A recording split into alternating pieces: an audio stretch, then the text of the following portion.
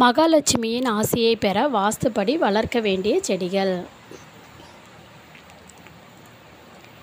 வாஸ்து சாஸ்திரம் படி மனித வாழ்க்கையில் முக்கிய முக்கியமான இடத்தை பெற்றுள்ளது அப்படின்னா அந்த வாஸ்து சாஸ்திரத்தில் மனித வாழ்க்கை தொடர்பான ஒவ்வொரு பிரச்சனையும் தீர்க்க பல விதிகளும் வழிமுறைகளும் இருக்குங்க. வாஸ்து சாஸ்திரத்தின் படி வீட்டில் செடிகளை நடுவதன் மூலம் நேர்மறை ஆற்றல் பரவுது. தடைகள் நீங்கி வாழ்க்கையில் முன்னேற்றம் ஏற்படுது. ஆனாலும் நீங்கள் வீட்டில் வாஸ்து செடிகளை சரியான முறையில் சரியான திசையில் நடும்போது அது நன்மைகளை பெருக்கும். வாஸ்துப்படி சில செடிகளை வீட்டில் நடுவதன் மூலம் மகாலட்சுமியோட அருளையும் பெறலாங்க. இதனால் உங்கள் கடன்களை அனைத்தையுமே தீர வழி பிறக்குங்க. வாஸ்துப்படி துளசி செடி ரொம்ப புனிதமானதுங்க. இதை நம்ம வீட்டில் எளிமையாக நடலாம். துளசி செடி மருந்தாகவும் பயன்படுதுங்க. இந்த மருந்தில் மிக முக்கியமாக வாஸ்துப்படி துளசி செடியை வீட்டில் நடுவது மகிழ்ச்சியையும் செழிப்பையும் தருதுங்க. வாஸ்து சாஸ்திர விதிகளின்படி துளசி செடியை தெற்கு திசையில் நடக்கூடாது.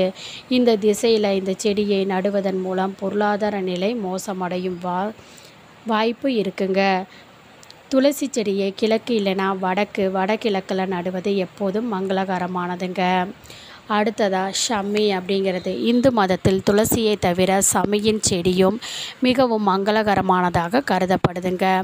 இந்த செடியை வீட்டில் நடுவது ரொம்ப நல்லதுங்க. சிவபெருமானுக்கு மிகவும் பிடித்த செடியாக ஷமி செடி கூறப்படுதுங்க.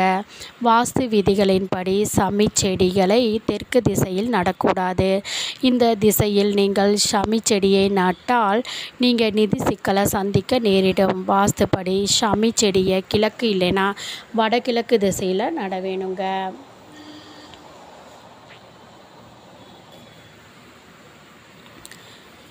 வீட்டில் மணி பிளான்ட் செடியை நடுவதன் மூலம் பொருளாதார நிலை மேம்படும்.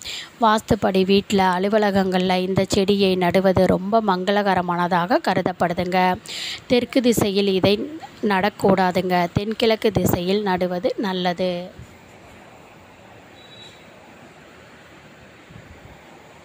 அடுத்ததாக பார்த்திங்கன்னா வாழை.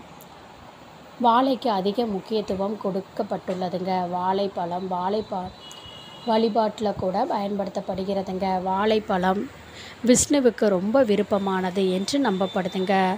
வீட்டில் தெற்கு இல்லைன்னா மேற்கு திசையில் நடக்கூடிய வாஸ்து சாஸ்திரத்தின்படி வாழை செடியை வடகிழக்கில் நடுவது எப்போதும் மங்களகரமான தன்மையை தருங்க.